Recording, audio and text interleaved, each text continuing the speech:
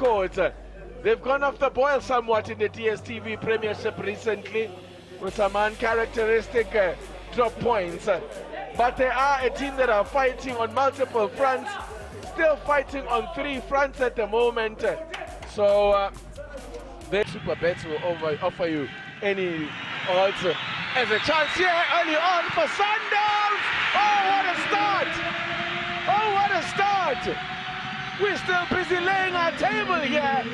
And it's Tashreeq Matthews that has opened the scoring, the worst possible start for Sekhukhune United.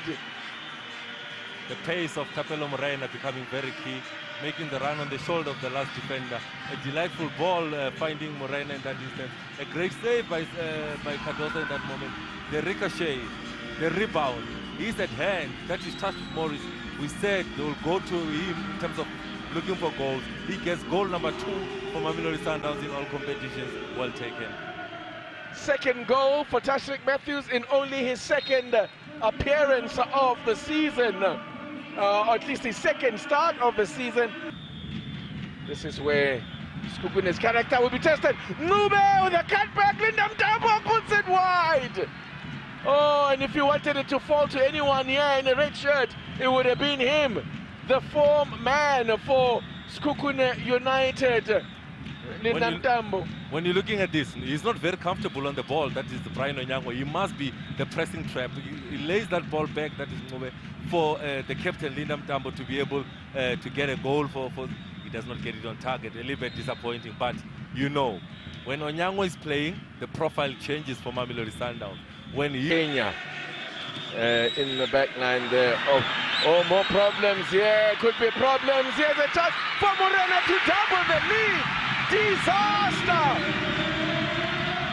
Disaster here for Sekhukhune United. They are falling apart here. Sundowns. 11 changes, no problem. Same old, same old. As they get caught out again, it's Sekhukhune United. build from the back if you've got the players with the profile. When you're looking at that one, Yamba Yamba makes a mistake. Good pressing from Matthews. He cuts it back, gives it to Morena, who gets his first of the season. A well-taken goal. Again, pressing traps, uh, taking away space and time from the defender. Morena, not the best of first touches, but he sticks it in the back of the net. Six minutes uh, of time has been played of the middles. Uh, Stelis. Oh! That he did not hesitate.